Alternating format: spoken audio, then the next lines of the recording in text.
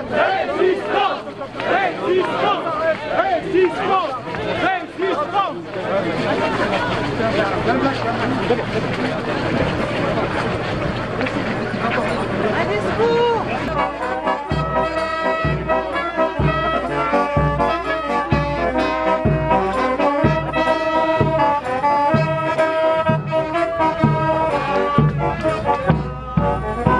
une campagne électorale, il y a des moments un peu rudes, c'est normal, on ne va pas s'en affoler, on ne va pas s'en indigner.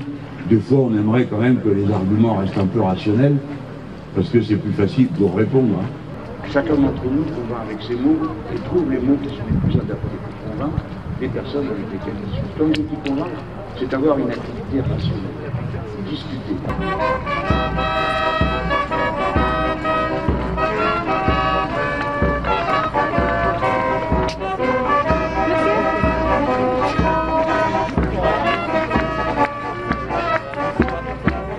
Non, il s'agit de convaincre, euh, de faire avancer les idées, et puis ceux qui vont pas être de notre avis, eux aussi, ils auront progressé.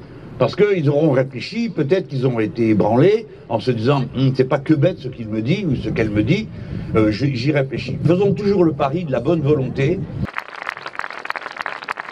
Le monde, à l'école, ils ont les diplômes, ils sont sérieux. Les parents, ils se saignent aux quatre veines pour que les enfants réussissent l'école. Et ils les éduquent et ils s'en occupent. Vous n'avez pas le droit de parler de nous comme ça. Exactement. C'est pas moi qui l'ai dit, c'est lui. Il a dit dégagez pour ceux qui n'auraient pas entendu. Bon. Mais je, je vais finir là-dessus, je vous le redis, c'est le plus important. Moi, je suis prêt.